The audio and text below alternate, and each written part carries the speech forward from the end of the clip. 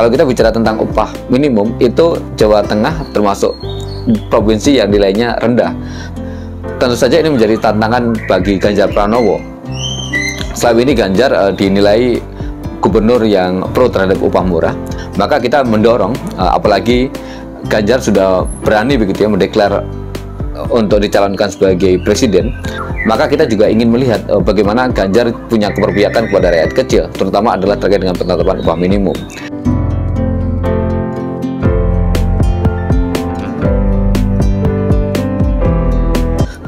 Gerakan buruh sudah menyatakan bahwa di tahun 2023 nanti kenaikan upah minimum setidak-tidaknya adalah 13%. Tuntutan ini tentu saja bukanlah sesuatu yang tanpa alasan inflasi melonjak tinggi, ada pertumbuhan ekonomi, dan oleh karena itu sangat wajar kalau kemudian kaum buruh meminta menuntut agar di tahun 2023 nanti kenaikan upahnya adalah 13%. Ini adalah kenaikan upah minimum. Tentu saja di luar kenaikan upah minimum ada yang namanya upah sundulan. Kita tahu bahwa upah minimum adalah upah terendah yang dibayarkan oleh perusahaan kepada buruh dengan status lajang dan memiliki masa kerja di bawah satu tahun. Dengan demikian, ketika si buruh itu sudah berkeluarga dan kemudian dia sudah bekerja lebih dari satu tahun, maka seyogianya upah yang didapatkan oleh kaum buruh lebih tinggi dari upah minimum. Tetapi bagaimana kemudian tanggapan dari para pihak terkait dengan tuntutan upah buruh naik 13%? Apindo misalnya, dia mengatakan bahwa untuk kenaikan tahun depan itu mesti mengacu kepada PP 36 kita tahu PP 36 ini adalah aturan turunan dari Undang-Undang Cipta Kerja atau yang biasa kita kenal sebagai Omnibus Law. Ini adalah ketentuan yang merugikan buruh, ini adalah ketentuan yang kita tolak, dan sekaligus ini adalah ketentuan yang oleh Mahkamah Konstitusi sudah dinyatakan inkonstitusional bersyarat. Ditegaskan dalam putusan Mahkamah Konstitusi terkait dengan Undang-Undang Cipta Kerja bahwa segala hal yang berdampak luas terkait dengan Undang-Undang Cipta Kerja ini harus ditangguhkan dan kemudian uh, hal yang bersifat strategis begitu ya bagi kepentingan nasional itu juga harus ditangguhkan. Dan bicara tentang upah, bicara tentang keterkerjaan, itu adalah bagian dari strategis nasional. Bahkan dikatakan dalam PP 36 yang disebutkan oleh Apindo tadi, upah minimum atau pengupahan itu adalah program strategis nasional. Dan oleh karena itu, penetapan upah minimum dengan menggunakan PP 36 harusnya diabaikan, harusnya ditangguhkan. Pernyataan Apindo yang mengatakan bahwa PP 36 akan digunakan dalam penetapan upah minimum tahun depan itu adalah pernyataan yang ngawur, pernyataan yang keliru, pernyataan yang bertolak belakang dengan apa yang sudah diputuskan oleh Mahkamah Konstitusi. Terang saja kaum buruh juga menegaskan bahwa kita tidak setuju dengan apa yang disampaikan oleh Apindo dan kemudian tetap bersikukuh, tetap berpandangan bahwa upah yang layak kenaikannya di tahun 2023 nanti adalah sebesar 13%. Lantas bagaimana dengan pemerintah? Beberapa waktu yang lalu Menteri Tenaga Kerja itu sudah menyatakan bahwa penetapan upah minimum di tahun depan juga masih mengacu kepada ketentuan PP 36 dan itu sudah beredar luas begitu ya. Walaupun dalam pernyataan-pernyataan yang lain uh, Menteri mengatakan bahwa penetapan upah minimum di tahun depan sedang didiskusikan oleh uh, Dewan Pengupahan Nasional. Dan diskusi itu merujuk kepada inflasi, merujuk pada pertumbuhan ekonomi dan macam-macamnya. Tapi kalau kita cermati itu sebenarnya retorika belaka. Intinya sih penetapan dengan mengacu kepada PP 36 dan kalau itu dilakukan maka kenaikannya hanya 1 sampai dengan 2 persen. Mirip seperti yang terjadi pada tahun lalu. Dan bahkan ada beberapa daerah yang upahnya sudah di atas batas atas itu tidak akan lagi mendapatkan kenaikan upah minimum itu satu hal yang kemudian kita garis bawahi. Tetapi ada yang menarik di tahun 2022 kemarin, misalnya ketika Anies Baswedan sebagai Gubernur DKI Jakarta itu melakukan revisi terkait dengan penetapan upah di DKI. Awalnya Anies menetapkan upah sesuai dengan mekanisme PP 36, tapi kemudian kenaikannya di DKI Jakarta dengan menggunakan mekanisme PP 36 itu hanya 0,8 persen. Saya agak lupa 0,8 persen berapa begitu. Tapi kemudian direvisi oleh Anies Baswedan dengan mempertimbangkan kepentingan wilayah dengan kebijakan yang dia miliki untuk berorientasi pada kesejahteraan kaum buruh maka kemudian menaikkan upah sebesar uh, eh, 5, sekian persen. Nah itu artinya bahwa penetapan upah minimum yang harus mengacu kepada ketentuan di PP 36 itu sudah terbantahkan, itu sudah terpatahkan. Setidak-tidaknya di tahun kemarin ada beberapa daerah DKI Jakarta khususnya itu yang menetapkan upah minimum tidak ses, tidak sebagaimana yang diatur dalam PP 36. Nah, oleh karena itu di tahun depan pun kita juga mendorong agar kepala daerah punya keberanian kepala daerah punya sikap, kepala daerah punya keberpihakan kepada kaum buruh untuk menaikkan upah sesuai dengan uh, tingkat kesejahteraan yang dituntut oleh kaum buruh, sesuai dengan eh, fakta-fakta uh, yang ada bahwa saat ini inflasi sedang tinggi, harga-harga melambung tinggi, dan oleh karena itu upah yang dihadirkan itu mesti juga mengakomodir kepentingan kaum buruh untuk memenuhi kebutuhan hidupnya. Sebut saja adalah Jawa Tengah. Selama ini Provinsi Jawa Tengah selalu dikritik kaum buruh itu adalah uh, upah terendah sedunia begitu. Maksudnya adalah upah terendah yang ada di Indonesia.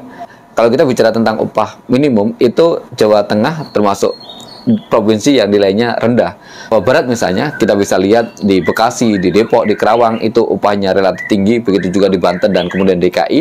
Uh, Jawa Timur itu di ring satunya juga upahnya juga relatif baik begitu. Tapi kemudian ketika masuk di Jawa Tengah itu bahkan ring satu Jawa Tengah uh, ibu kota Jawa Tengah misalnya dan beberapa kota lain yang menjadi basis uh, industri, uh, basis di mana kaum buruh bekerja, itu upahnya sangat rendah. Tentu saja ini menjadi tantangan bagi Ganjar Pranowo. Selama ini Ganjar uh, dinilai gubernur yang pro terhadap upah murah, gubernur yang tidak berani menetapkan upah minimum itu lebih baik dari ketentuan yang diatur dalam uh, PP 36 dan ketentuan Omnibus Law, maka kita mendorong uh, apalagi Ganjar sudah berani begitu ya mendeklar untuk dicalonkan sebagai presiden, maka kita juga ingin melihat uh, bagaimana Ganjar punya keberpihakan kepada rakyat kecil, terutama adalah terkait dengan penetapan upah minimum. Kalau saja Ganjar tidak punya keberanian untuk menetapkan upah minimum yang lebih baik, tentu ini akan menjadi catatan bagi kaum buruh uh, bahwa calon presiden ini calon presiden yang tidak mengakomodir kepentingan kaum buruh. Dan sebenarnya indikator terkait dengan hal itu bukan hanya soal upah, bagaimana keperbiakan Ganjar kepada uh, mereka yang tergusur, bagaimana keperbiakan Ganjar kepada elemen masyarakat kecil yang lain, uh, petani yang menolak tambang misalnya, itu juga semuanya menjadi catatan bagi kepala daerah yang hari ini akan mencalonkan diri sebagai uh, presiden.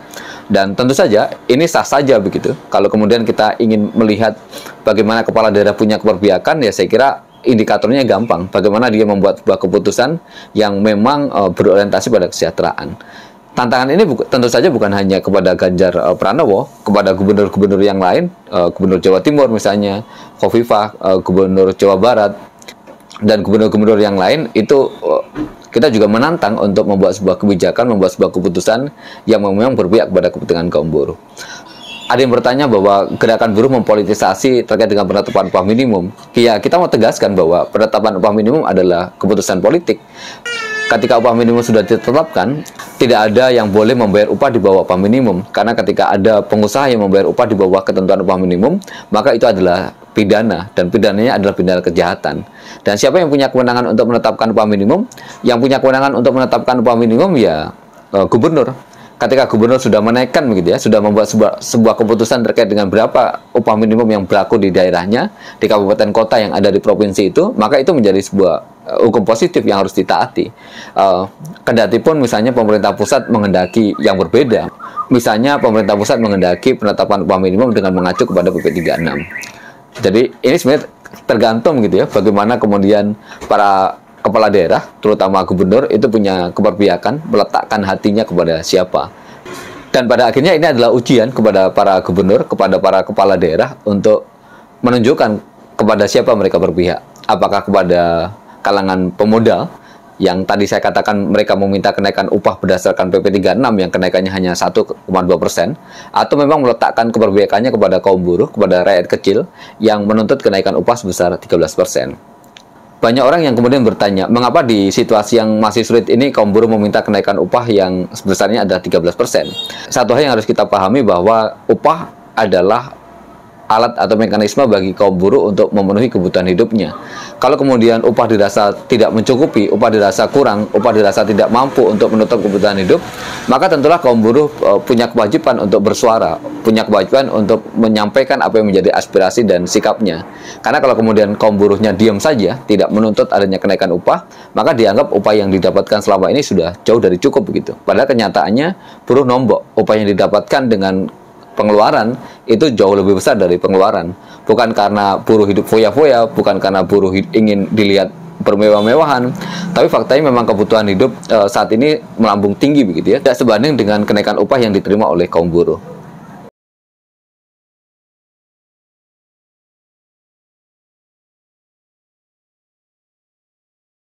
saya kira itu hal yang perlu digarisbawahi begitu. E, mengapa kemudian tuntutan atau gerakan buruh untuk mendesak, mendorong agar kenaikan upah menjadi lebih tinggi itu menjadi sebuah tuntutan yang terus disuarakan. Karena tadi upah adalah urat nadi dan oleh karena itu buruh berkepentingan untuk memastikan upah yang diterimanya benar-benar layak.